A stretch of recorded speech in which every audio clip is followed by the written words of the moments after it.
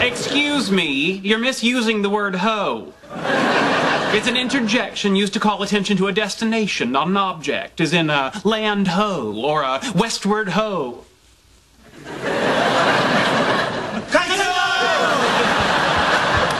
Hey guys, what you doing? Going out to discover electricity? If you're referring to the work of Benjamin Franklin, he did not discover electricity. He merely used a kite to determine that lightning consists of electricity.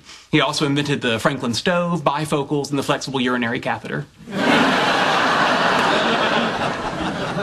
Kites ho. We're heading out for some kite fighting. Kite fighting. Oh, yeah. It's an extremely competitive cutthroat sport. Well, actually, the risk of throat cutting is very low. On the other hand, severe string burn is a real and ever present danger.